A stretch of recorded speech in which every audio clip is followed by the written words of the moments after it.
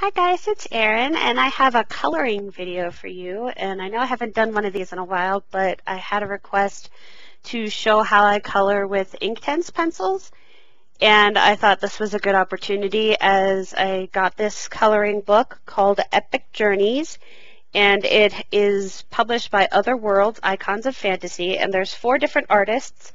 The artist that did this picture, his name is Mark A. Nelson and they're all um, they're all people that have worked in the fantasy industry, and pretty much, I think all four of the artists, or maybe there's five, I think it's four, uh, all of them have worked on Dungeons and Dragons at some point too. So that's interesting. But the, they all contributed to this book six pages that create a little story. And this story is the one that appealed to me most with the little uh, little wizard.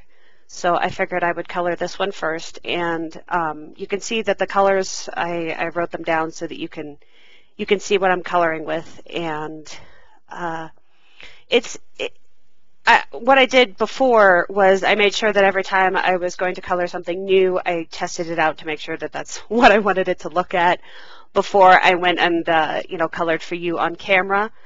Um, you know, coloring for me is you know, it's it's a form of relaxation, I guess. So I didn't want to have too much pressure of, oh my God, I'm on camera and I just messed it up and that kind of thing. So um, uh, you can see that this is done in a lot of sections, and you know, there I did uh, I did the two colors for the for the um, the stone and now I'm doing moss, which this is the first time that I've ever done this technique and I was really surprised when I did it on the, the first couple of the first couple of stones because it came out really well. And I'm sorry that I am so far away. I will actually focus in a little bit uh, in a little bit, so please bear with me. But um, there's not a whole lot to this. It's just there you go. See, you can see closer now. It's just a lot of really light layers and then going over it again with this water brush. This is a Kuretake water brush. And the reason that I like this is you can see how tiny and fine that tip is. And that just, it really helps for especially someone with me who I, I have medical tremors. So it, it helps that I have this, you know, very precise tip but you can see here that I keep moving around in different areas on the book because as I'm working on one area, the other area is drying and then I can go back with it. Because you never want to put pencil to wet paper because you're not going to be able to make it move. No matter how light you make the layer, the pencils are not going to want to move again. And the thing with ink Inktense is it's not like a regular watercolor pencil. This is actually ink. So as long as you fully dissolved it like I am here, it's not going to move again. So it's a it's a sort of a unique form of watercolor pencil. And I've had these for years. I, I, uh, I actually asked Amazon and I got them in 2012. So I've had them for quite a while, but it's only recently that I've figured out how to use them, I think. Um, you know, every medium takes some takes some learning and stuff like that. So, and of course, the more you color, the better you get at it. So, the, there's definitely a lot of that to a factor because I've been coloring for quite some time now.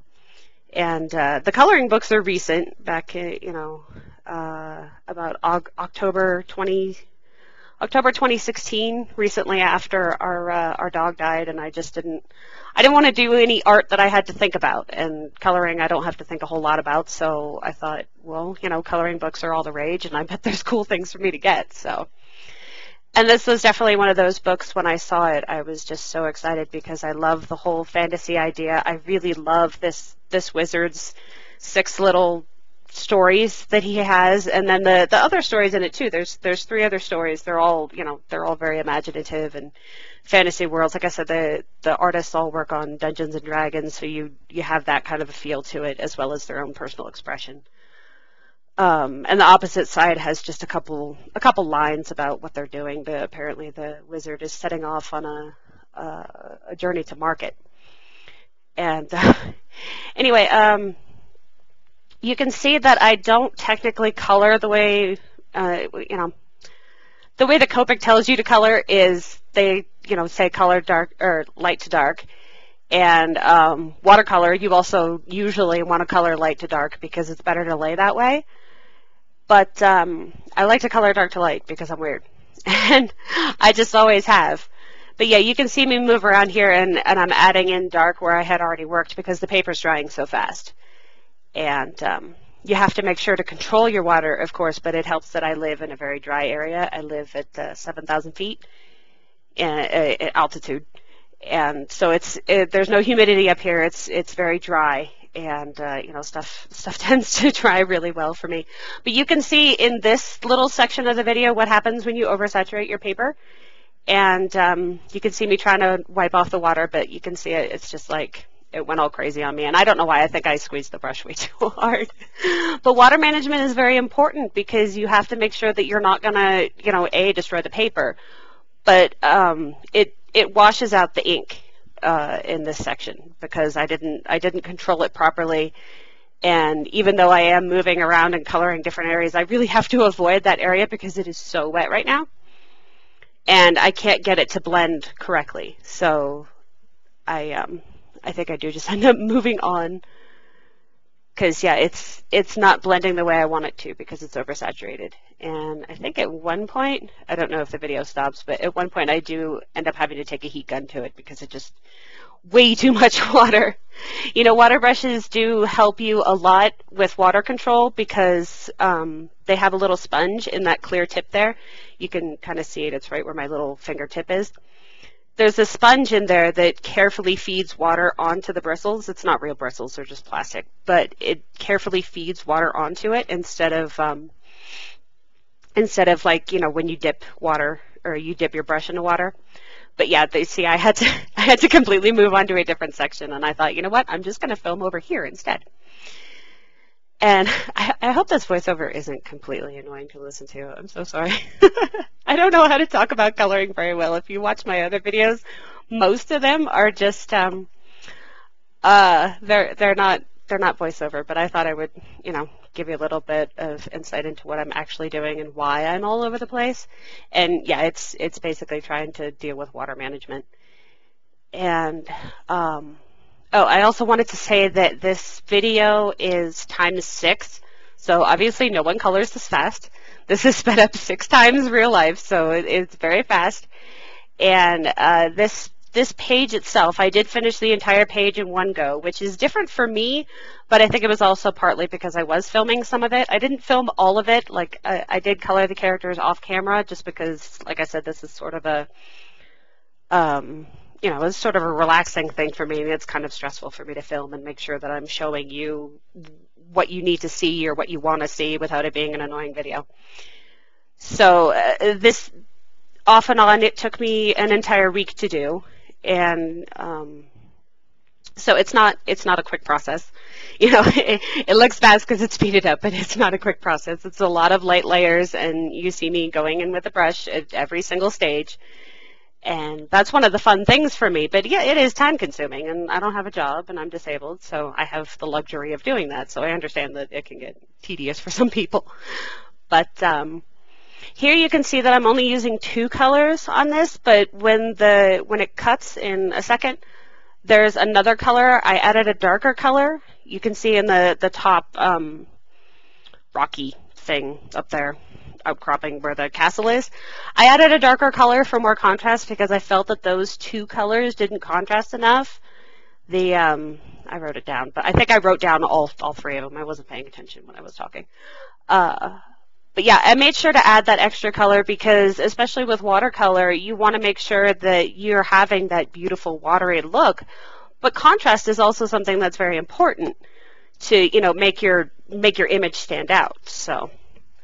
I made sure to, to just darken that up a bit.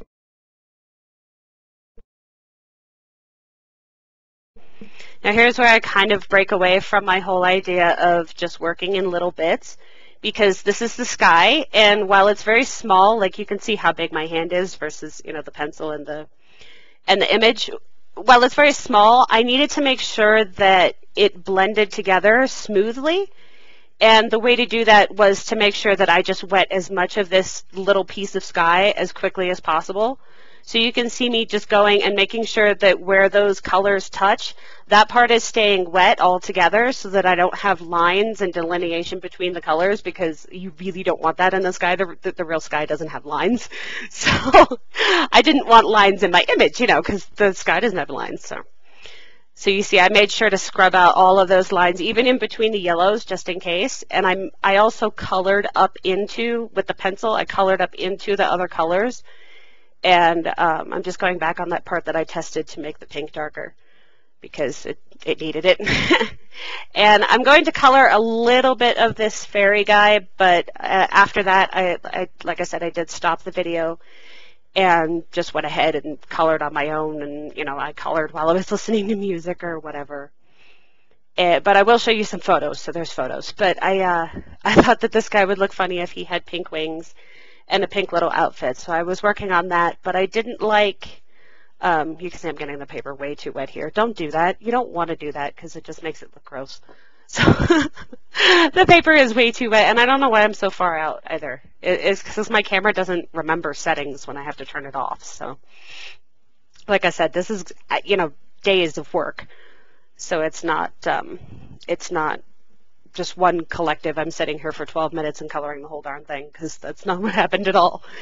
Um, but I didn't choose a dark enough a dark enough purple to contrast with the, the pink, so it just kind of got all muddy and blah looking, in my opinion. So I, I tried to fix it, but you know, oh well. And um, it it didn't it didn't really want to work for me, but I I still like the idea if he has a cute little pink outfit and pink wings because he's like he's all this you know smug little fairy guy. He's got a little smug look on his face. You'll see in a minute uh, on the still photos. But um, but yeah, I, uh, this is the first time that I've colored something A is so large and so detailed with um, with just Inktense. So it was a really good challenge for me because, like I said before, every time I've tried to use them, I, I really struggled with them. And okay, so here's the still photos. I'm not going to have them moved just so you can look at them. And um, so I made sure you can you can see the difference in the grass and how stuff blends together.